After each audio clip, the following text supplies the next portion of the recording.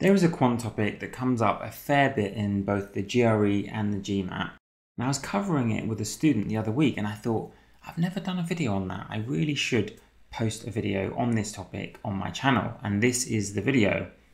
Yes, the title is fairly generic, counting methods, but the questions involved for this particular method are really quite interesting. They tend to come up at the higher level, by the way. So if you're aiming for below a 165 or a 700 on the GMAT, then you won't necessarily come across these kind of questions. Either way, they're very fun to do, and there's a great method for it.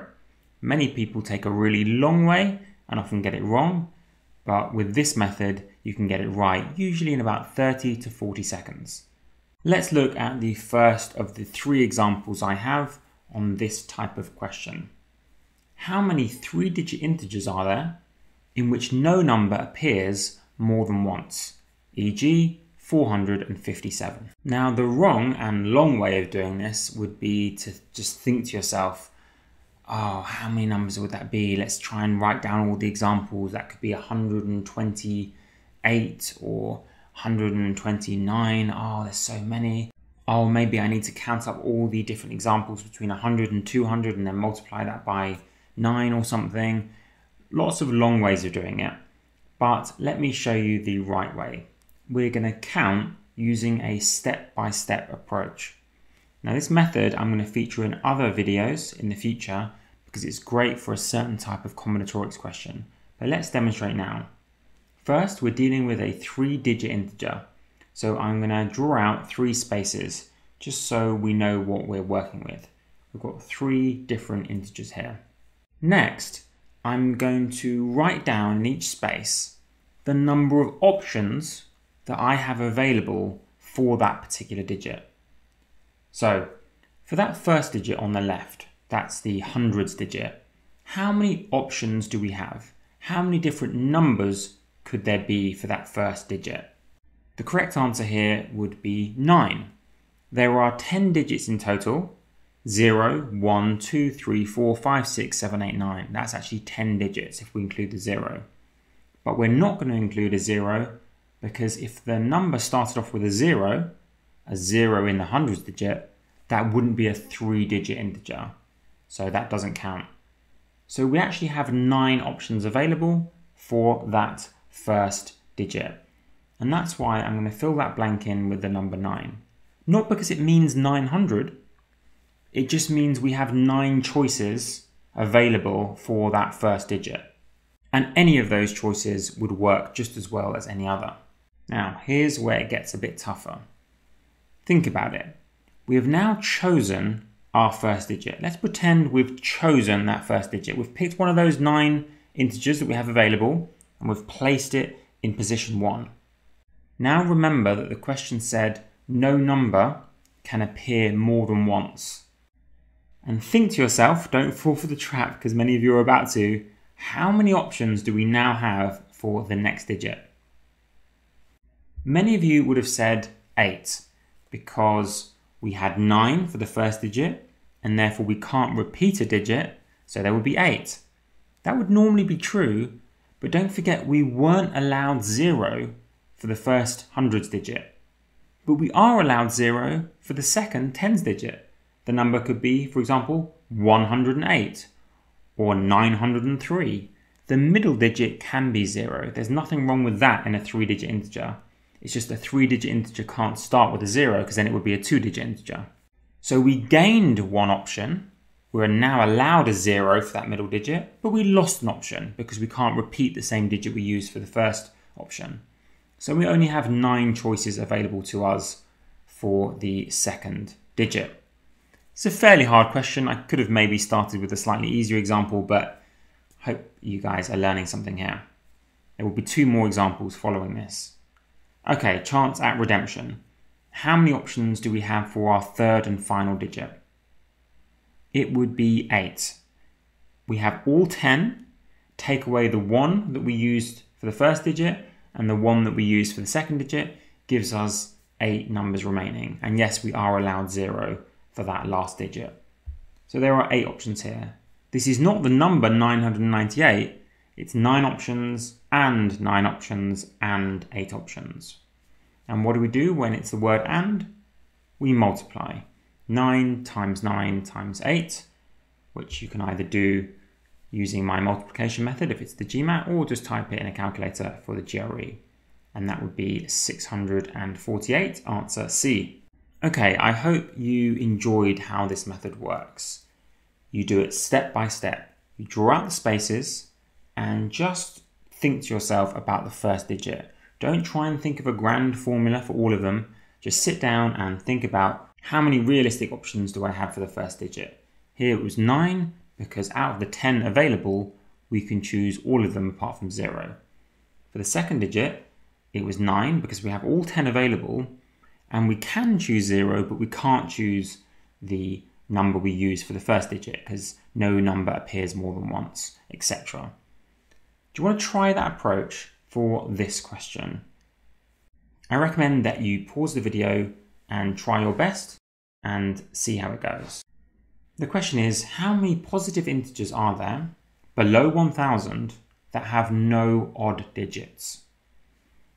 Okay, we're talking about the numbers below 1000. So I'm actually going to give ours three spaces.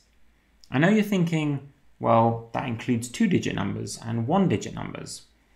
But those can be represented by starting off with a zero. For example, the number 024, that has three spaces in a sense, but it's a two digit number. So we can still use three blanks here, which is a bit of a giveaway about the first blank. How many options do we have? Remember the condition is we can't have any odd digits. It would be five. There are five even digits that the first blank could be. 0, 2, 4, 6, 8. And yes, 0 is included because the number could be, for example, 024 or 008 or 064. We can start off with a 0 because it said below 1000. It didn't say a three digit integer. So we are allowed to include two digit integers like 024. So we can start with a 0. We have five options. How many options would we have for the second blank? That would again be 5. The first blank doesn't change the second blank this time. It didn't say the digits had to be different. The number could be 222, 444 or 448. We can repeat digits here. And finally, five options again, just the same as before. Therefore, presumably, the answer is going to be 5 times 5 times 5, which is 125. But the eagle-eyed amongst you would have noticed one problem with that. We've included the number 000, which doesn't have any digits at all. In fact, that wouldn't even be a positive integer. 000 is the number 0, and that's not a positive integer. So we can't have that. We're allowed any other option, like 002, that's the number 2, or 020, that's the number 20, but we can't have 000 because that's not positive. So out of the 125 options available, we actually have to take away one because that's the 000 option, and the number 0 isn't positive. It's even, but it's not positive. So the answer is D, we have 124 integers available. I hope you're starting to enjoy this method as much as I do, because I think it's a brilliant method to count up possibilities really quickly. Not a formula, instead a step-by-step -step methodological approach. Final question. Pause the video, try your best, and see how you go. What is the total number of four-digit palindromes? A palindrome is an integer that reads the same forwards and backwards, e.g. 3443. Because if you read backwards, that's 3443 again. Now, as students, you've got to be honest here. Many of you would have totally struggled or not been able to do this question before seeing this video. And if you're one of them, please do leave a like and leave a comment to let me know. Let's try this difficult question using our method. It's a four digit integer that we're dealing with here, so we need four blanks. Let's think about the first choice. Let's not confuse ourselves with the whole number, just think about the first choice. How many digits do we have available for our first choice? That would be 9. Out of the 10 available, the only one we can't choose is zero because then it wouldn't be a four digit integer. So we have nine options available. What about the second digit? How many options available there? That would be 10 because any of our 10 digits from 0 through to 9 would be possible for our hundreds digit here. All 10 options. We can start with any two combination of numbers 3 4, 9 7, any of those can still end up being a palindrome, symmetrical forwards and backwards. What about our third digit? How many options do we have? This is the hard one. Did you get that the answer is actually 1? We only have one option available. Whatever we've chosen for our first two digits, say 4 and 7, we now have to make it symmetrical. So we have no option but to make the third digit 7 and the final digit 4. So it reads 4774. We don't have 10 options anymore. We can't do 478. That wouldn't be a palindrome. No, we have to think step by step because each choice might influence the next choice. And here, after we've chosen our first two digits, we are completely constrained for our third digit and indeed also our fourth digit. I didn't write it down there, but it's also a 1 for the fourth digit because we have one available option for our final digit because it has to match our first digit. So it's 9 times 10 times 1 times 1 because we have 9 options for our first digit. That's all the numbers from 1 to 9. 10 options for our second digit. That's any digit from 0 to 9. But then just one option for our third digit and one option only for our fourth digit because the third and fourth digits have to match the first and second digit respectively, otherwise it wouldn't be a palindrome. 9 times 10 times 1 times 1 equals 90. So there are 90 four digit palindromes.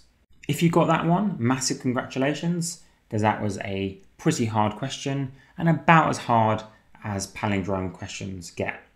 A final tip for those students who are practicing dozens of these kind of questions, occasionally you might want to think about your choices going backwards.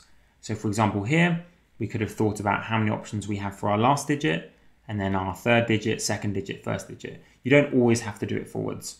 And if the question involves a certain number of even numbers or odd numbers, you might want to start with the final digit just because that's the one that has to be odd or that's the one that has to be even.